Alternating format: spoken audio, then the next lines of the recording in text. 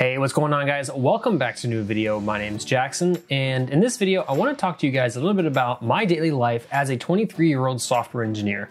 So to get started in the morning, I usually wake up somewhere between 7.30 and 7.45, uh, and then I'll go up and get the most important thing, which is coffee. Uh, I really do love coffee. I'll usually have between one or two cups uh, after this, I will go and uh, get some breakfast while I'm, drinking coffee, checking emails.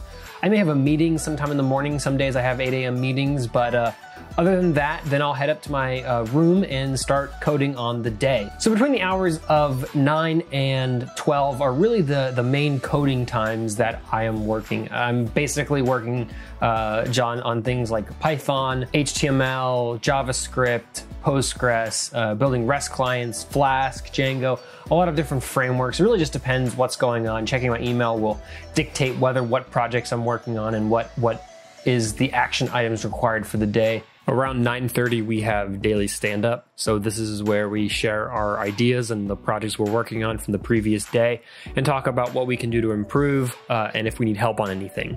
Anytime around 11:30 to 12:30 is when I go and get lunch. Uh, most times I will eat at home. We always have a plethora of just, you know, good frozen meals that I enjoy eating. So I'll just make some quick uh, frozen meal in there. It doesn't take very long. I don't like taking a whole lot of time after my day just to eat lunch. I, I don't. I'll probably only spend 15 minutes, maybe 30 at the absolute max, uh, you know, just getting lunch. But after that, then this is where I go back uh, to coding. This is usually where I have the bulk of my meetings. So I'll be uh, replying to customers uh, as, as I'm in the meetings, or I'll be just, you know, attentively responding to calls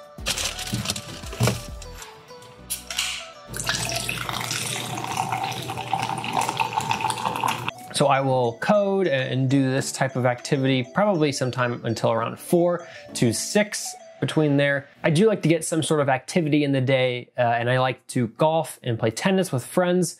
So around then is where I will decide that you know I want to go out and uh, stop working. After I get back from this, it's usually around 7:38. Uh, this is where I will make dinner. Uh, again, I don't really like to go out to eat. The majority of my friends don't like to go out to eat either, so I'll usually just come home, make something at home. I do like frozen fish. This Costco frozen fish is absolutely incredible. If you put guacamole on it, it's even better. After eating, it's around 8.39. This is really where the bulk of my night cut just kind of begins. Uh, I do have a lot of apps in the iOS App Store, so a lot of these need constant updating and I'm always innovating and creating new apps. So I like to spend the rest of this time to uh, update some of my apps. So I like to spend this time coding uh, on my personal projects, so nothing related to work, but for things that I enjoy doing. This is where I'm also, you know, making YouTube videos and uh, filming for clients or any sort of freelance activities that I do. And I usually do this until around uh, 10 30, 11. Maybe then is then when I will decide to start heading to bed. Other than that, that's basically the majority of my day.